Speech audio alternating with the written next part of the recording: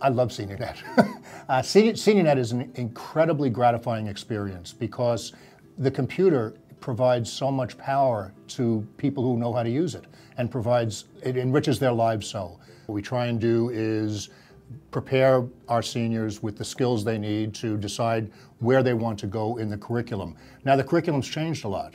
Uh, we do that to meet the changing needs in the market and the changing needs of the seniors. For instance, the introductory courses, increasingly seniors know how to use the mouse and the keyboard and turn the computer on and off, so there isn't as much of a need for that.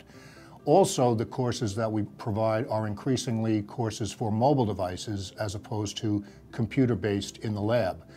We do have a state-of-the-art lab with the latest uh, software, uh, but what we find is obviously the world is going to um, mobile devices and we need to meet that need. To give you an example, we have 26 courses that we're offering in the upcoming semester. More than half of them are uh, for mobile devices, and nine of them are being offered for the first time. For instance, we have a course uh, that is a four-session uh, course for the iPad that shows you how to use it as an e-reader, what some of the best apps are, how to use it as a music player, and all the offerings in the iTunes store. And those courses are always oversubscribed. Before I actually went to the SeniorNet classes, I would have a difficult time in uh, actually navigating through uh, my uh, home computer. But as a result of going to the various classes at, at SeniorNet, I've become very, very well oriented as far as operating a computer, so I'm no longer intimidated. I enjoy it very much, and the courses were extremely uh, informative uh, for me. But I've taken Excel, I've taken all the introduction courses, I've taken the internet courses, and uh, I found them very, very helpful.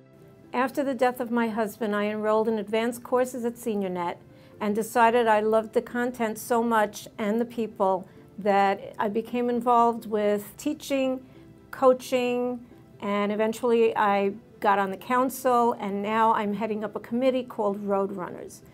With Roadrunners, we go all over Long Island and we tell people what SeniorNet is all about, and we hopefully we try to get people involved in it. In 2001, we won the award for seniors and technology by the New York State Office for the Aging. We were also voted the number one SeniorNet uh, learning center in the country. Uh, it has brought seniors into the 21st century. We were, uh, when we first started, we didn't even know what seniors were, could do or they, they can handle a computer. And today we have a whole generation of computer savvy seniors. Seeing this learning center growing from a few volunteers to uh, 140 volunteers, from teaching one class in just computer basics to having 33 or 35 different courses and to see so many of my friends and people uh, we got to know who uh, are computer savvy, who are able to handle computers and the new apps which are coming on the market today. The Town of Huntington Department of Human Services has been partnering with SeniorNet for many years. It's been a great collaboration. Part of our core mission in the Department of Human Services has been to offer dynamic programming for our seniors, SeniorNet's classes are an integral part of us achieving that mission. The classes are always very well attended. The feedback from the students has been so enthusiastic. We are so proud of SeniorNet and all that it does. I started computers uh, in a high school setting and then I tried a college course. One was too slow, the other one was too fast. For my purposes, uh, such as emails, finding information, or talking to my grandchildren, it has been very helpful to take the courses at SeniorNet. In addition to the teacher, we will typically have four mentors or teacher's aides in the classroom so that uh, these provide support to make sure that the seniors are following the lesson that's being uh, provided by the teacher.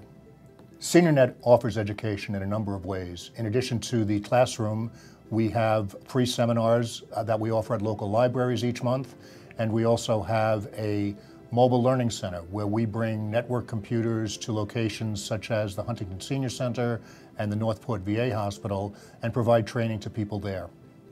My background was teaching business and computers to high school students for many years. Now it is such a pleasure to go into the senior classroom where the seniors all bring such diverse backgrounds to our course. I'm happy to be here at SeniorNet teaching Introduction to Computers 2, where we explore word processing, email, and the internet.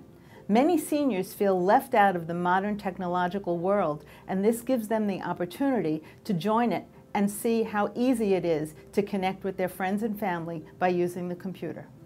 I have long been an avid supporter of SeniorNet, an essential non-for-profit in the town of Huntington.